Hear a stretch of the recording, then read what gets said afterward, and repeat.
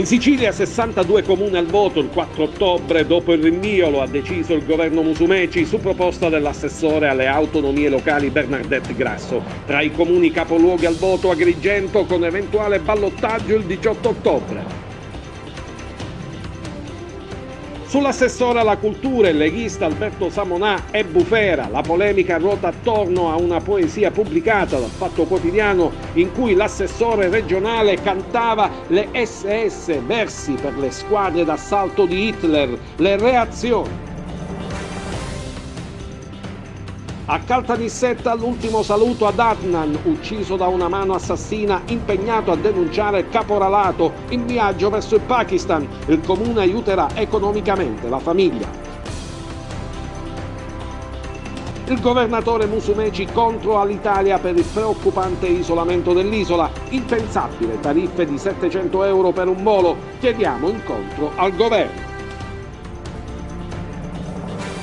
Si svolgeranno il 4 ottobre le elezioni amministrative in 62 comuni dell'isola, lo ha deciso il governo Musumeci su proposta dell'assessore alle autonomie locali Bernadette Grasso. L'eventuale ballottaggio è fissato per il 18 ottobre. Ad essere coinvolti dalla tornata elettorale straordinaria a seguito del doppio rinvio deciso per contenere i rischi sanitari derivanti dalla diffusione della pandemia da Covid-19 saranno oltre 810.000 siciliani. In precedenza le elezioni erano erano state fissate il 24 maggio ballottaggio il 7 giugno e successivamente il 14 giugno con ballottaggio il 28, ma in entrambi i casi, visto l'evolversi della situazione emergenziale dovuta all'epidemia, la tornata elettorale era stata rinviata al secondo semestre 2020 in una data compresa tra il 15 settembre e il 15 novembre. Unici capoluoghi di provincia che andranno alle urne sono Agrigento ed Enna, oltre che nei comuni il cui rinnovo degli organi amministrativi era già fissato per scadenza naturale, 52 enti, si voterà anticipatamente anche a Casteltermini in provincia di Agrigento, San Pietro Clarenza nel Catanese, Partinico e Termini Merese in provincia di Palermo e Floridia nel Siracusano, attualmente commissariati, e a Camastra e San Biagio Platani nell'Agrigentino, Bonpensiere in provincia di Caltanissetta, Tre Castagni nel Catanese, Vittoria in provincia di Ragusa sciolti in precedenza per mafia dal Consiglio dei Ministri. Tra i comuni più grandi coinvolti, oltre ai due due capoluoghi ci sono Marsala nel Trapanese, Barcellona, Pozzo di Gotto e Milazzo in provincia di Messina, Carini e Partinico nel Palermitano, Augusta in provincia di Siracusa e Vittoria nel Ragusano. A essere eletti saranno 872 consiglieri, in 18 comuni si vota col sistema proporzionale, in 44 con il maggioritario. In provincia di Agrigento al voto Agrigento il capoluogo appunto col proporzionale per eleggere 24 consiglieri comunali, Camastra maggioritario, Cammarata maggioritario, Casteltermini maggioritario, Raffadali maggioritario, Realmonte maggioritario, Ribera proporzionale, San Biagio Platani maggioritario e Siculiana maggioritario. In provincia di Caltanissetta il voto a Bonpensiere maggioritario, Mussomeli maggioritario, Serra di Falco maggioritario e Villalba maggioritario. Sta suscitando roventi polemiche la vicenda scoppiata dopo che il Fatto Quotidiano ha pubblicato un articolo che ha ripreso alcune righe d'una poesia che secondo il quotidiano inneggerebbe ai valori nazisti scritta dal neoassessore leghista ai beni culturali e all'identità siciliana Alberto Samonà. Quest'ultimo era ancora trentenne quando scrisse i versi stampati a pagina 33 del volume Le colonne dell'eterno presente, dato pubblicato alle stampe nel 2001 in cui parla del sacrificio dell'ultima Thule e di monaci dell'onore con un chiaro riferimento secondo la ricostruzione del quotidiano contestata dal diretto interessato alle SS. Una questione che rischia di degenerare in una guerra interna anche dentro la Lega che in Sicilia nel frattempo ha cominciato a registrare nei giorni scorsi diverse fuoriuscite nei vari territori. Attendo da qualche ora che venga pubblicata una smentita smentita di quanto riportato circa inno alle SS da parte dell'assessore Samonà. Non ho letto né una smentita né una presa di distanza né una parola di scuse alle vittime dello sterminio nazista, scrive in una nota la deputata regionale leghista Marianna Caronia. Mi aspetto, dice, una presa di distanza dall'interessato e dalla Lega ai suoi massimi livelli che devono chiarire se quelle parole e i disvalori culturali che promuovono possano passare sotto silenzio. Mi aspetto che la Lega chiarisca se l'autore di tali abominevoli espressioni ed apprezzamenti possa rimanere al suo posto o se piuttosto non vada velocemente caldamente invitato a dimettersi, conclude Caronia. Il presidente della commissione antimafia Claudio Fava afferma in una nota un giovanotto che scrive versi in onore delle Schutzstaffeln, le SS, va curato. Il presidente Musumeci, fascista mai pentito, se l'è scelto come assessore alla cultura. Samona, massone insonno ed esegeta mai pentito di delle chiaie, va rispedito a casa a studiare la storia, oppure Musumeci cambi nome all'assessorato, non più identità siciliana ma difesa della razza. Sulla vicenda intervengono anche il coordinatore nazionale dei Verdi Angelo Bonelli, secondo il quale è inammissibile e disgustoso che chi ha definito monaci dell'onore le SS possa ricoprire il ruolo di assessore. Samonà si dimetta ed Emanuele Fiano del PD che invita Salvini, che sarà oggi in Sicilia per un tour, a prendere le distanze e a mandare a casa questo assessore che inneggia alle SS di Hitler ed il parlamentare di Leu Erasmo Palazzotto si rivolge al presidente della regione. Mi chiedo cosa ci sia di onorevole nel farsi affiancare al governo della regione da un filo nazista come Samonà. La mia terra merita rispetto, così come i siciliani. Vogliono piena giustizia il cugino Tavir e gli amici di Adnan Siddiq. Ieri ultimo saluto tra la commozione di tutti i presenti. Erano lì con lui per l'ultima volta gli affetti costruiti in questa nuova vita in Italia. Ragazzi che come lui inseguono il sogno di una vita migliore dall'altra parte del mondo. Le lacrime dei suoi datori di lavoro hanno più valore di ogni altra parola perché per loro Adnan era più che un dipendente. Presenti anche il primo cittadino Roberto Cammino e l'assessore alle politiche di inclusione sociale sociale Cettina Andaloro. Chi conosceva Adnan non si dà pace per questo epilogo tragico. Lui non era un bracciante, ma un bravo artigiano del settore tessile, catapultato in una storia di caporalato perché ha avuto il coraggio di opporsi alle ingiustizie subite dai suoi connazionali, invitandoli a denunciare. Sul fatto, ad oggi, gli inquirenti continuano ad indagare. Ieri è stata una giornata tristissima eh, perché è stato ricomposto il feretro di Adnan ed è stato consegnato ai suoi connazionali per essere trasportato in, eh, a Lahore. Eh, questo ragazzo è stato ucciso da una mano assassina, una mano assassina che ha eh, di fatto compiuto una tragedia, eh, perché questo ragazzo aveva aiutato dei suoi connazionali a denunciare quelli che l'altro giorno l'hanno uccisi lasciamo fare il corso alle indagini, lasciamo la magistratura alle sue verifiche, però la cosa tristissima, nella cerimonia c'è stata una piccola cerimonia dei ragazzi che sono ospiti al CARA, con i ragazzi che sono ospiti al CARA, è veramente stata una cosa triste, triste, triste, soprattutto era triste vedere lì i datori di lavoro di Adnan piangere, piangere perché questo ragazzo è stato adottato non solo dalla famiglia ma dalla nostra città.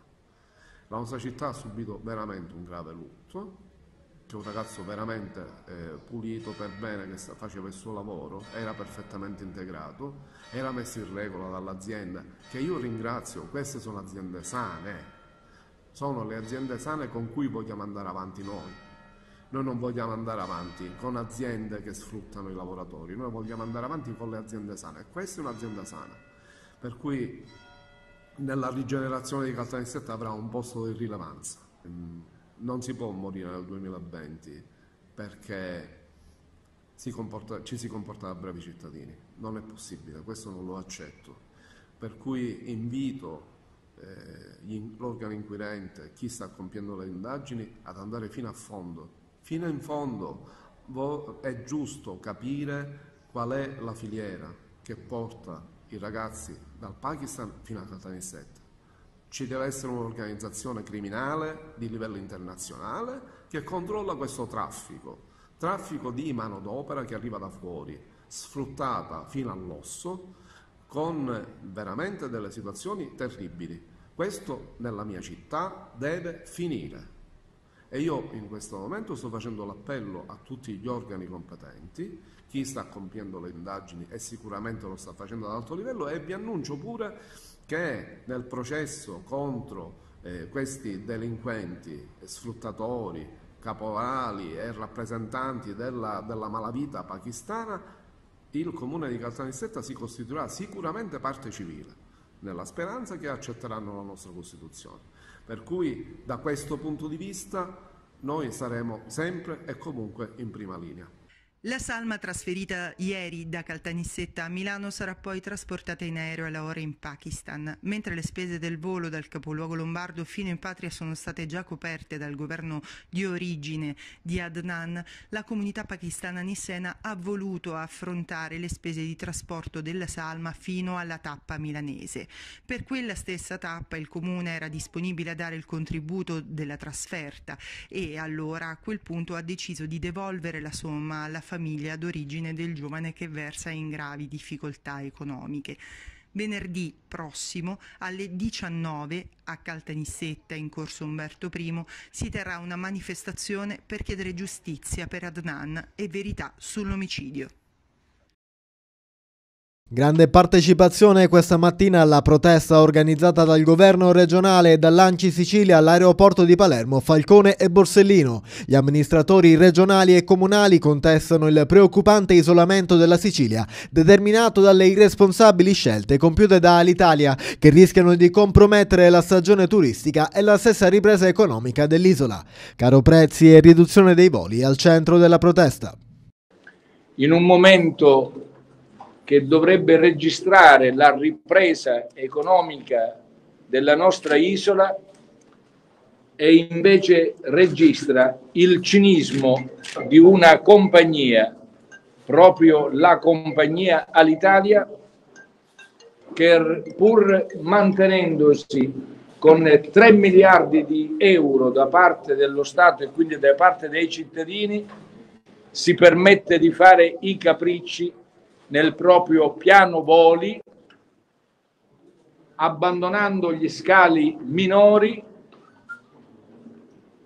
mantenendo limitato il numero delle corse negli scali maggiori e soprattutto adottando una politica dei costi inaccessibile. Per noi isolani il trasporto aereo non è un lusso, non è la voglia di provare una emozione, questo si fa quando si è giovani e quando si vola per la prima volta. Per noi il trasporto aereo è una necessità per muoverci in tempi rapidi. La politica adottata dall'Italia scoraggia la mobilità dei siciliani.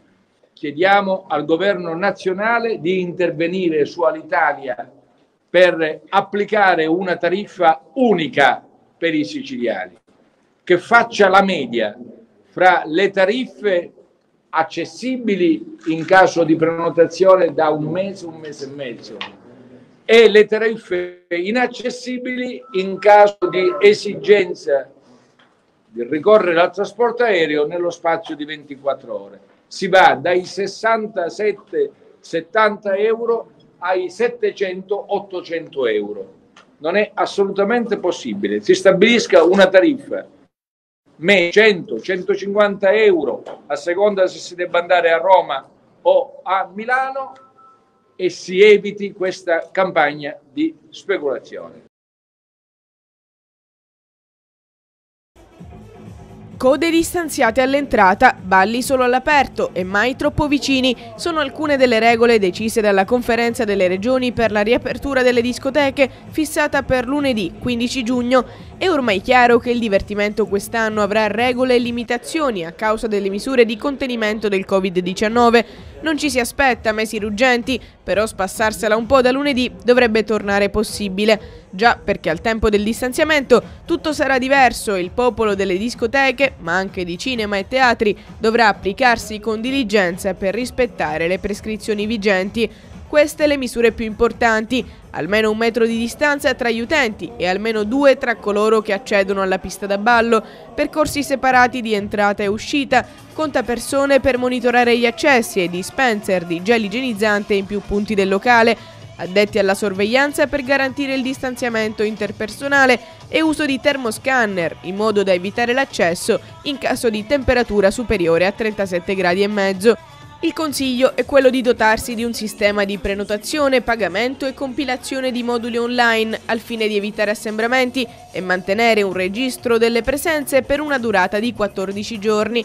Tra le misure più contestate c'è l'uso di sacchetti monouso per riporre gli oggetti nel guardaroba e il divieto di consumare le bevande al banco. Preoccupati i gestori delle discoteche che ieri a Roma hanno protestato a nome dell'intero comparto in un flash mob. Siamo fermi da oltre 100 giorni e siamo molto preoccupati, sottolineano. Il danno è per 2.500 locali e 100.000 lavoratori per un fatturato annuo di 4 miliardi. Dattilo e Paternò possono stappare. Lo spumante sono loro, le società siciliane promosse nel campionato di Serie D. E questa è la decisione che il Consiglio di Lega della Lega Nazionale Dilettanti ha preso nella giornata di ieri, riunito nel Salone delle Cerimonie del CONI. Tutte le prime classificate dei gironi d'eccellenza sono state promosse nel massimo campionato dilettantistico, mentre le retrocessioni dall'eccellenza alla promozione sono scese da 4 a 1. Andranno nella categoria inferiore infatti solo le ultime classificate. Dal girone A l'Alba Alcamo, dal girone B nessuna squadra visto che in organico vi erano già 13 squadre. La festa arriva da Dattilo, una piccola frazione del comune di Paceco, famosa per i suoi cannoli, che per la prima volta affronterà la Serie D. Siamo contentissimi, racconta il presidente Michele Mazzara. Stiamo già programmando le prime riunioni dei soci per pensare al campionato. Il tecnico Chianetta è stato l'ideatore del progetto insieme al direttore sportivo Scarcella ed i nostri collaboratori. Per il dattilo il nodo resta quello dello stadio. Così come accaduto con il Paceco qualche anno fa, la squadra rischia di trasferirsi a Trapani nel caso in cui non dovesse essere messo in regola lo stadio Mancuso.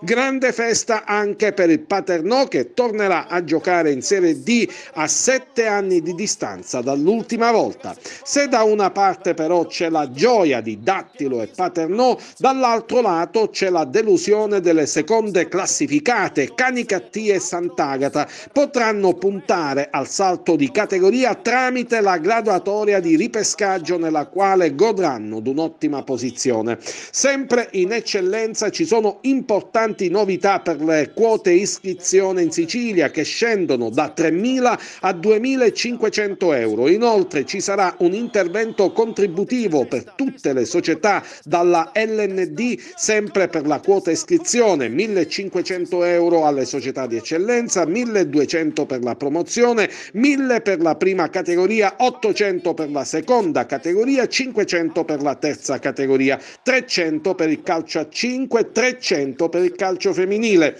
Ci sarà un taglio anche nelle assicurazioni che scenderanno da 29 a 27 euro, ma ci potrebbe essere uno sconto ancora più sostanzioso dopo i dialoghi con la compagnia assicurativa della LND. Raddoppiato invece il progetto Valorizzazione Giovani che passa da 3 a 8 società in graduatoria con gli under che il prossimo anno saranno 2001 e 2002. Dalla promozione in giù infine non ci sarà alcuna retrocessione. Confermato invece il salto di categoria per le prime in classifica Unitas Sciacca, Igea 1946, Aci Sant'Antonio e Siracusa.